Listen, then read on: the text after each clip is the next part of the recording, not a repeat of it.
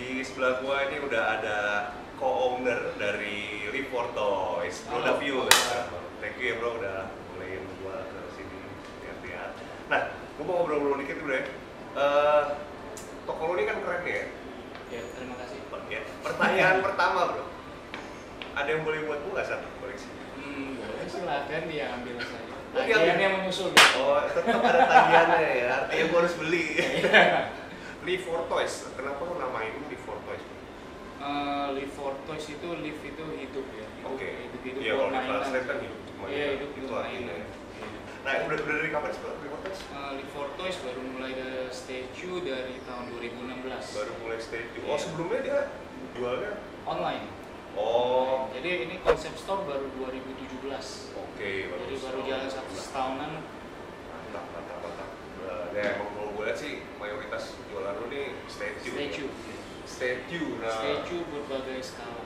berbagai skala ada skala ya, Eh, seper 10, seper 6, seper 4, seper 2, selain seper 1 Belum. Live saya seper 1 paling bas Jadi, Oh, bas. ya, Bas itu berarti setengah badan Oh, yang setengah badan oke Darth Vader ya. Iya, ada Vader Oke, nah tapi selain statue ada foto segala juga ya. Eh, Ada hot toys beberapa Tapi kayaknya lu lebih fokusin ke fokus ke Hot toysnya pemanis tuh Oke, pemanis. Nah, ngomong-ngomong statue deh, Bu ya. ya. Gua kan, gua kolektor deh, tapi gua koleksinya foto sih baru ya. Nah, cuman statue, statue itu apa yang bikin dia istimewa ya? Sorry, mas, soalnya jujur gua sebenarnya sebagai kolektor foto belum keracunan deh sama statue nih. Oke. Ada yang main stay hot toys Tapi nggak gitu jago nge-post itu ada gitu. Betul. Sorry ya bukan yang mengecilin yang nggak bisa post atau apa. Ya kalau you sendiri saya tahu lah jago. Ah.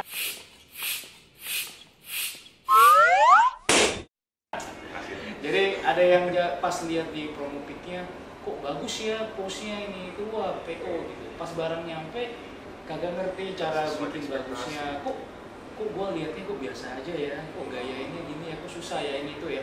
Nah kalau beli patung itu sudah postnya sudah seperti itu. Gitu. Jadi promo pic-nya seperti itu yang di PO yang dibayar yang didapetin ya juga Oke. porsinya seperti itu. Itu kan dari segi eh, segitu. mainnya nih. Iya. Tapi kalau dari esensi kepuasan pribadinya itu sebenarnya. Maksudnya kan kalau gue sih jujur kalau koleksi itu karena gue senang ya pose-pose ini ya. Maksud gue kalau stay itu kan blok sampai kapan pun begitu terus tuh ya. Ada Fun ada itu ya. ya, gini, kalau statue itu sekarang udah nggak kayak statue dulu. Oke. Statue sekarang itu banyak part. Oke. Zaman dulu statue Oh. saya nggak mau sebut merek ya, sama see. statue paling kalau misalnya dikasih extra part udah masuknya kategori eksklusif atau apa. Kalau sekarang itu regular aja itu banyak part. Ada kepalanya bisa dapat tiga varian, tangannya bisa diganti-ganti, itu bisa berubah. nggak bosan lah ya. Iya, jadi nggak bosan. Oh kayak tadi Joker Quinn yang kita Iya. lihat tadi ya salah satu contohnya. Iya. Tapi di Indo sendiri di Indonesia itu penggemar eh kolektor statue itu udah banyak tuh. Eh, lumayan, lagi growing. growing ya. Growing, Berarti ya. lagi. Tapi memang kalau dibanding Motox pasti masih Kalah jauh. Hot Toys itu lebih eh, lebih general. universal. Iya, lebih jadi orang itu kebanyakan Toys tuh bikinnya tuh movie masterpiece. Jadi Oh. rata-rata orang itu pasti nonton Bioskop. ke bioskop ya. gitu. Kalau patung itu banyak ke komik, ke Iya, iya sih, iya games, sih, itu iya. konsep art gitu. Belum tentu semua orang itu eh, maksudnya familiar ya. gitu. Ya, kalau ini karakter Iya. apa ya gitu. Kalau movie kan habis nonton dia tahu, oh ini karakternya keren nih. Nah, pasti langsung ke. Kan dari game-game juga ada tadi. Iya, dari game. Oh itu itu yang membuat statue itu mungkin lebih eksklusif sebenarnya, bener nggak? Eh, ya lebih lebih segmented. Segmented, Segmented, oke. gitu. Tapi lagi growing. Orang sekarang juga lagi eh, karakter Marvel di film tuh kan udah bener-bener White explore banget ya wide banget. Terus jadi orang itu udah mulai tahu sekarang eh, Thanos tuh komiknya bentuknya seperti ini. Udah lebih ke berasa movie itu terlalu mainstream gitu. Jadi mau lebih tampil beda ya ke komik gitu. Ke arah komik koleksinya. Nah kalau dari sorry nih, gue nyinggung soal harga. nih. Biasanya kan mikirnya pertama mungkin tempat ya ada orang mikir wah ini gede banget bawa pulang ribet ya besar banget. Mending beli hot toys aja deh buat lucu-lucuan bisa foto-foto. Tapi kadang kan sewaktu uh, seiring waktu berjalan kan uh, spend duitnya juga nggak murah juga loh Hot Toys. Hot Toys itu sekarang ada lumayan iya jadi uh, ya Hot Toys koleksi itu ibaratnya gini Hot Toys ada patung juga ada. Jadi kombinasinya pas gue masih mikir nih beli ya. Oke, berarti berarti menurut lo Hot Toys itu sama statue sekarang harganya udah agak agak Iya, bayar-bayar segini ya. dapat ukurannya segini, kalau statue bayar Mending segini ya. dapat dapat yang besar. oh gitu ya. Cuman ya bukan berarti jangan koleksi Hot Toys juga bagus. Kecil-kecil, lucu, bisa dibawa ke mana-mana buat foto. Contohnya ada Hot Toys Groot kan bisa dibawa Iya sih, benar. ke restoran buat Iya, foto-foto iya. gitu. Tapi kalau kalau gue lihat dari barang yang lu jual kayaknya lu penggemar Batman. Eh, Fans Batman. iya dari dari tahun 89. Us. Tim Burton, Dari zaman Tim Burton. iya di Burton Michael Keaton ya. Michael Keaton. Batman. Tapi emang uh, statue kayak banyak kan DC ya dia ininya. Uh, Gitu. soalnya Paramount Studio Iya. itu lebih banyak uh, pegang licensing di sini. Ini udah Marvel lo. Kayak bakal beli ini. Oke, pertanyaan terakhir gue nih bro. Kenapa tadi kan gue udah tanya kenapa lu harus koleksi sta- statue. Nah kalau ini kenapa lu harus beli statue di Live for Toys? Nah, itu yang paling penting.